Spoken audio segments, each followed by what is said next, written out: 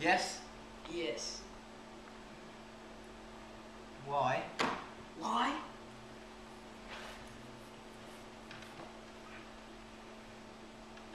Don't do that.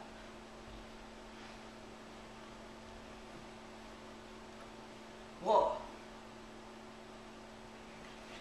Do you even know what you're doing? You haven't listened. To what? They said you were the best assassin out here, so show me what you're made of.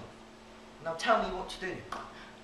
I want you to aim at Bruno and fire. I'll kill his wife.